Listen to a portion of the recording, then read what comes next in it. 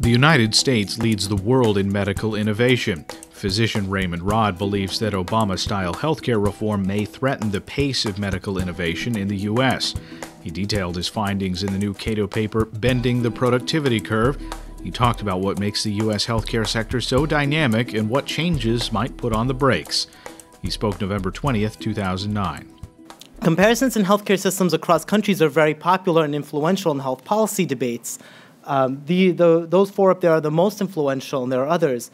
Um, there are several problems with these studies, which I'm not going to get into here, but you can ask me about during the question and answer period if you're interested. But one of the problems is that none of them include any measure of the contribution of various countries to medical innovation. Now, why is it important to include innovation? Well, as um, Mr. Cannon just said, in innovation is what makes us healthier. It's what brought us to the healthcare system that we have today. And in many ways, um, I would argue that innovation is more important than the two issues that are considered most important in healthcare today rising costs and um, lack of health insurance because really a treatment has to first be developed before its costs can be addressed and its use can be extended to everybody. now, a common question that's asked is why wouldn't innovation show up in other measures? If a lot of great cancer treatments are coming out of the United States, why wouldn't we expect that cancer care would be better and therefore our outcomes for cancer would be better in the United States? Well, it's it usually wouldn't work that way, mainly because innovation has many qualities of a public good. Usually, new ideas are developed by a handful of people, and the costs are incurred to one country or a few countries. Whereas once the products are developed, they tend to improve outcomes in a variety of countries or all over the world. So, what's the best way to measure innovation? How do we go about it and compare it across countries? Well, there's a few properties about innovation we should keep in mind um, when we do that that make it difficult to measure. The first is that not all advances are equal. Some require a lot more ingenuity than others. And so, therefore, simple output statistics are not as worthwhile. Statistics like how many new drugs come out of the United States versus how many in Europe um, don't really differentiate among the ingenuity of drugs. The second property about innovation to keep in mind is that new ideas are often controversial at first. That makes it difficult to measure new innovations, innovations that came out in 2008, because it's still um, an open question as to which of them are going to make the biggest difference on patient care. And so we, just, we think that the best way to measure innovation is to really focus on the cream of the crop and those innovations that have been widely accepted in the field. So we divide innovation into four categories. Um, the first is in basic medical sciences. These are advances that help us understand how diseases affect our body, what causes disease. Second is in diagnostics. These are advances that help us discover what disease a person has. So, a blood test that tells us whether someone has had a heart attack. Third is in therapeutics. These are advances that help us treat diseases. Um, so, drugs would fall into this category. New advances in surgery are an alternative example. And the fourth is in business models. These are advances in the way that healthcare is organized and delivered to consumers.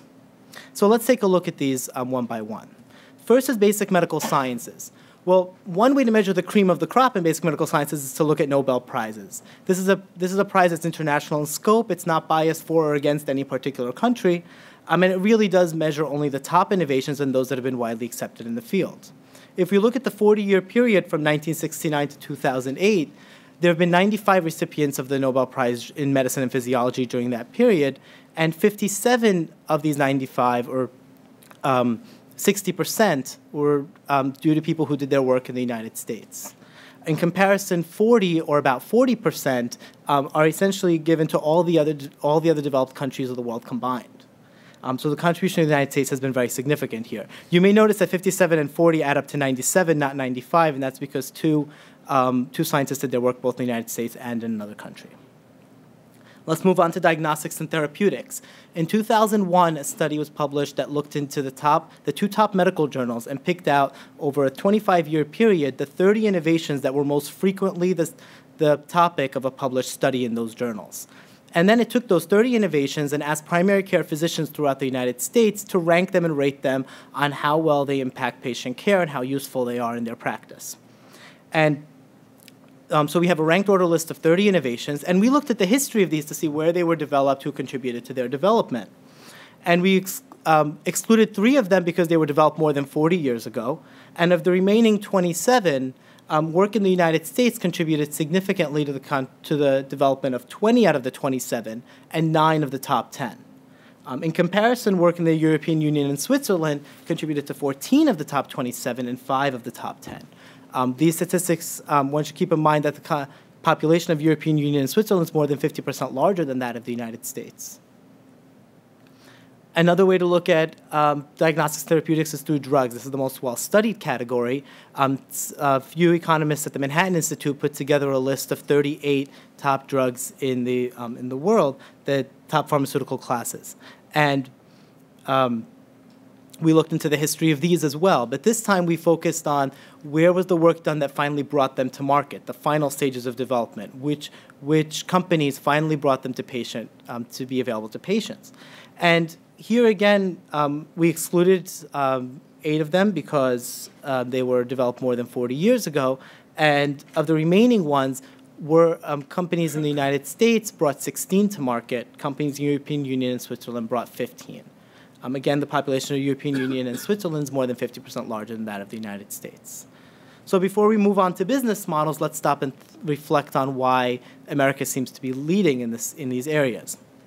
Well, we don't have any definitive answers in this category, but we can offer some hypotheses. I'm going to offer a few um, non mutually exclusive ideas. First is that the US appears to be attracting high quality innovators.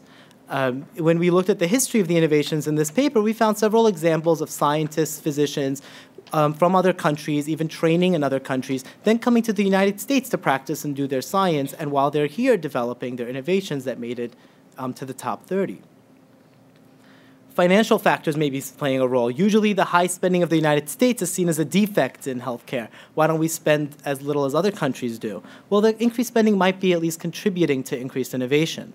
Um, in basic sciences, um, the new National Institutes of Health spends um, funds most of the basic science innovation in the United States, and it has an annual budget of more than $30 billion a year. In, con- in comparison, um, all the European Union countries combined have an annual budget of 3 to $4 billion a year on basic sciences in diagnostics and therapeutics, we don't have definitive data, but there's some preliminary evidence that, that there's more spending in the US as well. Other financial factors. Um, physicians get paid more in the United States. They get paid twice as much or more than in other developed countries. Um, that could be attracting higher quality um, physicians into the United States. And there are larger monetary returns on medical innovation. Um, pharmaceuticals are the most well studied category here, and we see that even um, prices for pharmaceuticals are 35 to 55 percent lower in other industrialized countries. And so as a result, even though the United States is 5% of the world population, it accounts for 45% of the sales of pharmaceuticals uh, measured in money. And even in non pharmaceuticals, in other technologies, we see faster and more extensive use of technology in the United States, which could be contributing to greater monetary returns on those as well there may be cultural factors involved. Um, Thomas Bohm, who's a scientist who's worked both in the United States and in Germany and Austria, um, noticed that the research environment in the United States was more meritocratic and more tolerant of risky new ideas.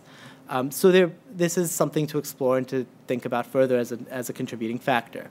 And there may be non-healthcare um, policy-related factors, things like our tax code, our um, patent system, general business climate may be contributing as well.